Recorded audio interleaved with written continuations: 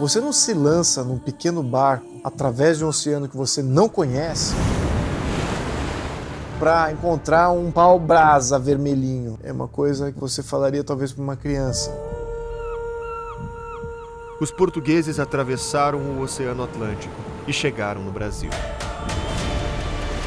Nem portugueses nem índios sabiam. A história do Brasil nunca mais seria a mesma. Agora o Brasil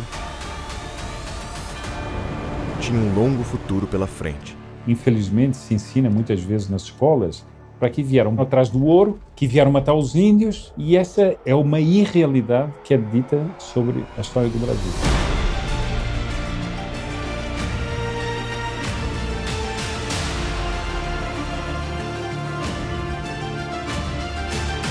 A melhor solução para o Brasil é dar um pouco de Brasil para as pessoas. Nenhum povo tem consciência de seu destino e a certeza de seu valor, se ignora o seu passado ou se simplesmente não o compreende. A grande coisa do Brasil, evidentemente, foi a miscigenação. A nossa história é uma história rica. É rica porque nós conseguimos fabricar em profusão grandes homens. Grandes homens.